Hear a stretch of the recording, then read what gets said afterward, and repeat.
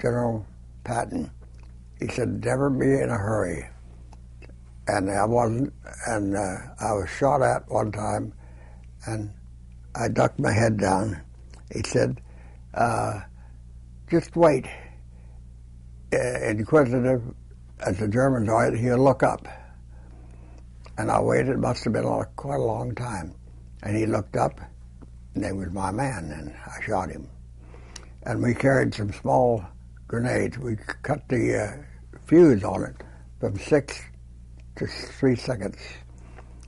So it would explode quick. So I threw one of those in where the shot come from, and then the rest of my platoon went straight on up, and we'd pretty well wiped it out. So we just proceeded on. Uh, another one, we uh, had a time on target with our, we dropped uh, 75 howitzers by parachute in pieces and put them together.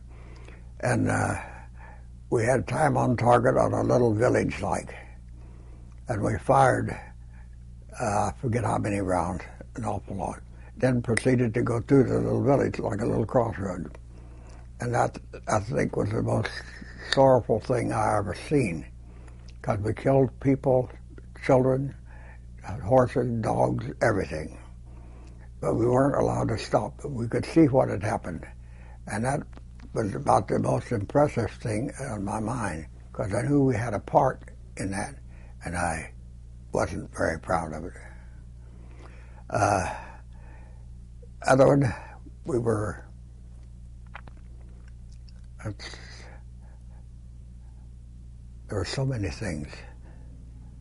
I had the other one, had three of them planned out, but we uh, went up to Germany after the war was over, I volunteered for occupation duty. And I wanted to go up in there, and I was in no hurry. I wasn't married or anything. So I uh, wanted to see what damage we had done to uh, Berlin. And uh, it was nothing but rubble, just as bad as the news pictures said. And uh, we met several people. We lived at uh, our barracks. Our house was 16 Heinersdorfer Strasse was across from the uh, uh, monument for the first band to ever fly, like a bird, you know, wings round and around and around the circle get to the top, and he glided off. And uh, that's where we lived, our barracks was.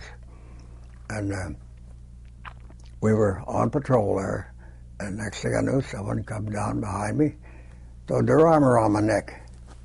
And I didn't expect anything. And I looked back like that. Someone jammed a bottle in my mouth. It was a Russian soldier. He had a bottle of vodka. And I'd have got to my gun, have shot him. But he was happy. He was celebrating the victory, too. But he pretty near choked me to death with that hundred and some proof vodka. I couldn't catch a breath or anything until he was down and out of sight. So I remember that pretty well. So there's all hundreds of things I could talk about. Uh, we uh, was in uh, southern France, and they took the uh, my. I had a six by six. They took all my equipment off of it. They said they needed to bring the uh, infantry back because the Germans were preparing for a, a advance. They left me there with uh, uh, my helper and two 50 caliber machine guns and plenty of ammunition. So where the Germans were going to come was up around a cliff like this, and ro- the road was cut right into the cliff. So we started, well, what are we going to do? So we decided, well, the big Tiger Royal their biggest, heaviest tank, and they had started around the bend there, and they had to go real slow. So we started with those two 50 calibers shooting underneath the road. And it was about a mile and a half away. But those 50 calibers had a four mile range. So we got the range of it. So we started firing underneath the uh, road and finally got the road to cave in and down went the Tiger Royal, down went the road. that stopped their advance. They couldn't couldn't go no farther.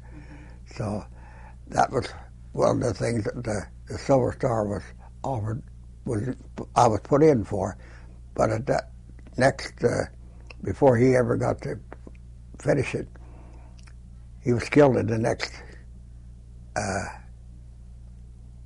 expedition we had there. So he never finished it. So I never got my Silver Star. So, so I enjoyed my Army service sometimes. Sometimes I was pretty sorrowful. I was I was engaged to be married when I went over, but I got my dear John letter and said uh, she didn't want to wait no more. So before we went on the mission, I answered her letter and told her, if you meet me on the street, don't speak to me, don't look at me, because I won't answer. And I did meet her several times here in Youngstown, and uh, never, never recognized her. And that was a, uh, one of the sad parts of my Army career. It, uh, of course, she died quite a long time ago, too, but all that's forgotten and forgiven about. So I did very much so. And I had a brother who was in England. He was in the Air Force, but he was a radio man back in the, and he never saw no action. And I had a brother-in-law. He was mentioned in Ernie Pyle's book. He was sleeping in a foxhole. And Ernie Pyle looked over and seen poisonous snake coming right up in his foxhole. If it had a gun, it would have probably bit him and killed him. But Ernie Pyle jumped on it and killed it. I've got the book at home. Wow. so on. So many things like that I could talk for oh, all day. Different little things.